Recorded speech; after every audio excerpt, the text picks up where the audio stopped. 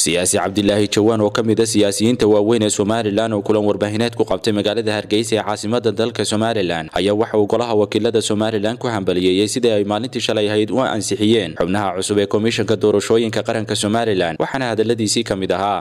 Arrintii shalayto baarlamaanku amba golaha wakiilada somalilan ay ku ansixiyeen toddobadii xubnood ee komishinka lix ka mid ah ee ay ku ansixiyaan ayaan shalayto markii uu soo baxay go'aanku ayaan qoraal ka sameeyey oon dhigay facebooka bartaan ku leeyahay.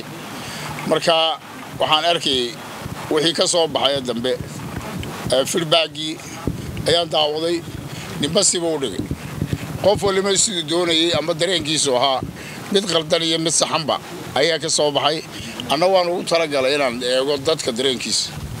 Waxa weeyaan runtii waxaynu marayno marxalad qallafsan baan ku jiraa nin walibana dadkeenna inta badan caadiga siduu doonaya isaga ayaa u sharciya.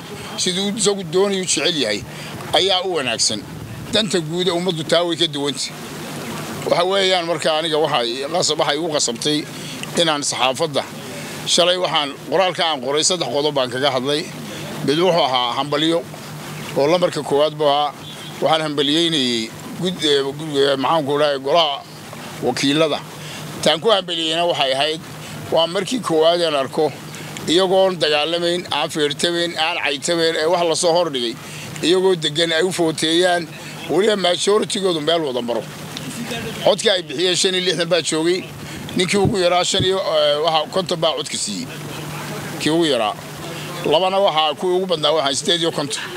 Marka markaad eegto dee markaad shan iyo lixdan guddoomiyaha ka saarta afar iyo lixdankii sideed iyo konton lix xubnood baa markaa ka aamusay amba diiday waliba ka aamus bay u badnaay. Marka waxaad arkaysaa majoritiga xisbiga eighty percentii waxaan u jeedaa baarlamaankii inuu meel wada maray.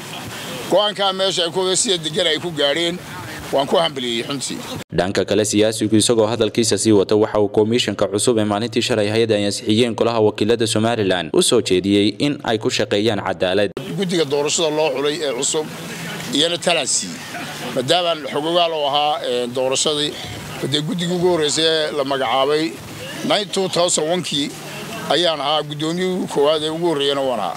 Marka saddexdii doorasho ugu horreysay aanu qabannay si aanu ku qabannay gagacida maanta sii beeley lacag bay haystaan gaadiid bay haystaan xafiisay haystaan annagoo tuuya fadhiyan waxba hayn baanu bilownay waxa weeyaan haddana ilaahayna wuu nagu asturay. Si toosoo caadi wax dhibaatayna kama dhicin. Sharaf iyo wanaag waxaan hayn waxa weeye taa waxaa keenay tiam werk wada shaqaynna waanu lahayn sharcigaanu ku shaqaynana waan ku dheganin oon ku shaqaynayn wuxuuna u dhaarannay ayaanu ku shaqaynayn marka waxa weeyaan anigoo madaxweynihii soo magacaabay haddana madaxweynuhu wuxuu idhaha waxaa yeel allah u naarsa cigaal dee maanaan qaadanay waxaan odhan jirown madaxweyne waxaasaa la qabanaya ururada imanaya cid ku wakiilo soo diro. Lixda wasiira ugu adag buu soo diri jiray. Halkaa wasiiradu fadhiista halkaa ururka halkaa urur way noo sinaayeen komishinkan maantana taan kula talinaya waxa weeye aan sheegay iminkana halkan aan ka sheegaya waxaad tihiin lixdiinaa xubnood iyo xubinta kale imanaysa toddobaad. Garsoor baa tihiin waxaad garsoor ka tihiin maxakamad tii ugu sarraysay ee madaxweynaha soo saaraysay ee baarlamaankii soo saaraysay ee golayaashii deegaanka soo saaraysay ayaa tihiin waa hogaamintii dalka oo dhan. Marka xilkaa cidda lagu aaminay waa maskaxdii qaranka qof kale bili'aadanka haddii maskaxda khalkhal ka galo amba wax qaladi uu galo. Qof jidhka dhamme wuu bukoonaya ma hagaagayo marka waxaan leeyahay waxaa laydin diyaariyey kitaab qur'aana laydin mariyey amba ha laydin diido amba ha lagu qaylay wixii haddii mar laydin dhaariyey arrintu way dhammaatay. Marka waxaan idinkula talinayaa xilkaa u dhaarateen kitaabka aa marteen iyo dadnimadiinna ilaaliya.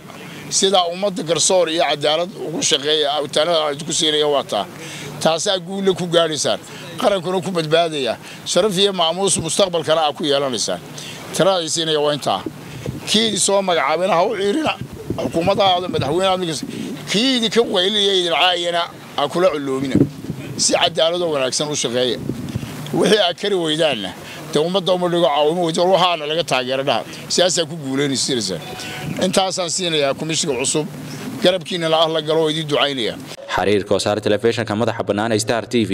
Hargeysa